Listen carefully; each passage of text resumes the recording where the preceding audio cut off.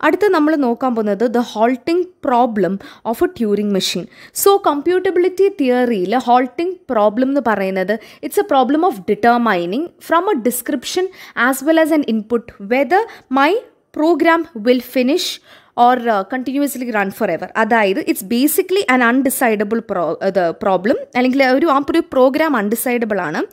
നമ്മളൊരു ഡിസ്ക്രിപ്ഷൻ കൊടുക്കും നമ്മളൊരു ഇൻപുട്ട് കൊടുക്കും അതിൽ നിന്നും നമ്മൾ കണ്ടുപിടിക്കും ആ ഒരു പ്രോഗ്രാം റണ്ണിങ് കംപ്ലീറ്റ് ചെയ്യുമോ or will it run forever so here my input will be Turing machine as well as and input string W Turing machine എന്ന് പറയുന്നത് ഡിസ്ക്രിപ്ഷനാണ് ഇവിടെ ഒരു ഉദ്ദേശിക്കുന്നത്. ഡിസ്ക്രിപ്ഷൻ ഓഫ് ട്യൂറിംഗ് മെഷീനാണ് നമ്മൾ ഉദ്ദേശിക്കുന്നത്.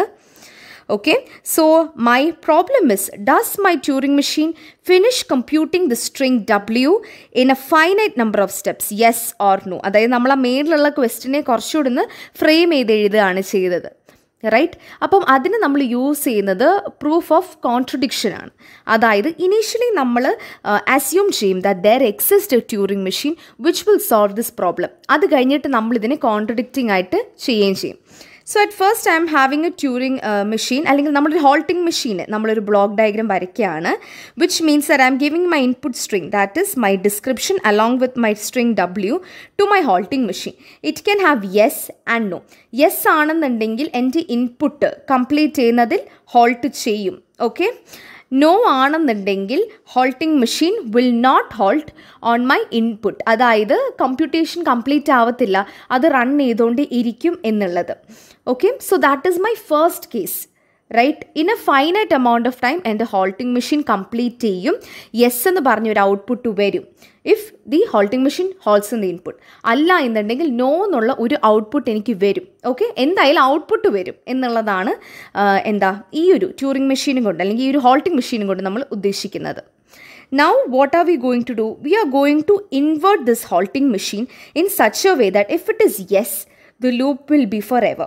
If it is no, then it will halt. So, in the halting machine, again, I'm giving my input string is the description as well as uh, my input string w. So, if it is yes, it is going to an infinite loop.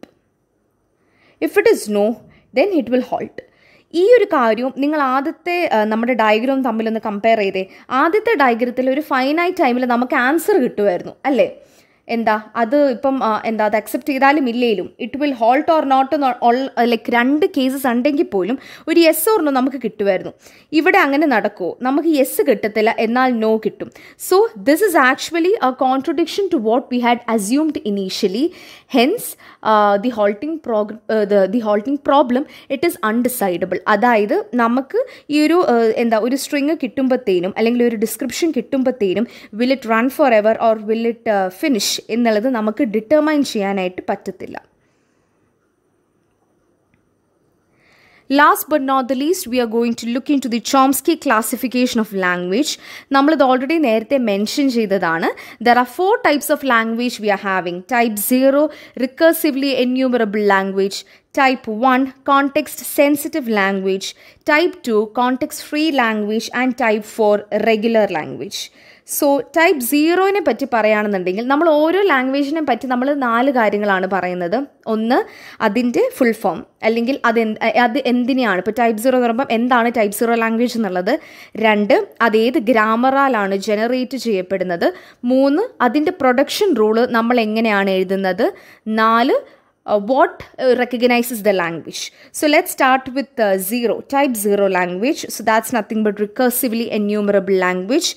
It is generated by an unrestricted grammar അല്ലെങ്കിൽ type zero ഗ്രാമറാലാണ് generate ചെയ്യപ്പെടുന്നത് if you are writing a production rule it will be of the form alpha gives beta where alpha and beta are a combination of terminals and non terminals and നമ്മൾ ഈ ഒരു type zero language എന്ന് പറയുന്നത് it's recognised by Turing machine Type one ലാംഗ്വേജിനെ പറ്റി നമ്മൾ സംസാരിക്കുവാണെന്നുണ്ടെങ്കിൽ again it's context sensitive language it is generated by type one grammar അല്ലാന്നുണ്ടെങ്കിൽ context sensitive ഗ്രാമറാണ് generate ചെയ്യുന്നത്. The production will be of the form a alpha gives beta where the length of beta is greater than or equal to the length of alpha where both of the formed by terminals and non terminals type one language recognize ചെയ്യുന്നത് എന്താണ്? Linear bounded ഓട്ടോമേറ്റിയാണ് type one language recognise ചെയ്യുന്നത്. അടുത്ത നമ്മൾ നോക്കുന്നത് type two language ആണ്. That's context free language generated from context free grammar അല്ലാന്നുണ്ടെങ്കിൽ type two grammar എന്ന് നമ്മൾ പറയും. ഇവരുടെ പ്രൊഡക്ഷൻ എന്ന് പറയുന്നത് it's of the form a gives alpha അപ്പോൾ ഈ ആൽഫ എന്ന് പറയുന്നത് സിംഗിൾ നോൺ ടെർമിനൽ ആവാം അല്ലെങ്കിൽ it will be a string of grammar symbols ആൽഫയുടെ കാര്യം പറഞ്ഞത് അപ്പം ഇതൊക്കെ നമ്മൾ എന്തൊക്കെയാണ് പ്രൊഡക്ഷന്റെ ഫോം എന്നൊക്കെ നമ്മൾ പ്രീവിയസ് ലെക്ചേഴ്സിൽ പഠിച്ചിട്ടുണ്ട്. സോ ആ ഒരു ഇൻഫർമേഷനും ഇവിടെ അപ്ലൈ ചെയ്യാനായിട്ട് ശ്രമിക്കുക it is again recognized by a pushed on down automator. So the last type is our type 3 language. That is our regular language. നമ്മൾ ആദ്യമേ പഠിച്ചതാണ് റെഗുലർ ലാംഗ്വേജ് അത് ടൈപ്പ് ത്രീ ഗ്രാമറാൽ ജനറേറ്റ് ചെയ്യപ്പെടും. And also we can describe it using regular expressions they are the most specific as well as the smallest subset of the all the languages അവരുടെ production rules എന്ന് പറയുന്നത് നമുക്കറിയാം. ഈ ഒരു ഫോമാറ്റിലാണ് പ്രൊഡക്ഷൻ റൂൾസ് കിടക്കുന്നത്. It can be either one terminal sorry one non terminal uh, or else it is uh, sorry it can be either one terminal or a combination of terminals and non-terminals languages they are recognized by finite state uh, automata അപ്പം ഇത്രയും കാര്യങ്ങളാണ് ഈ നാല് points നിങ്ങൾ ഓരോ ലാംഗ്വേജിന് കീഴിൽ എഴുതുവാണെന്നുണ്ടെങ്കിൽ നിങ്ങൾക്ക് Chomsky classification of language describe ചെയ്യാൻ പറ്റും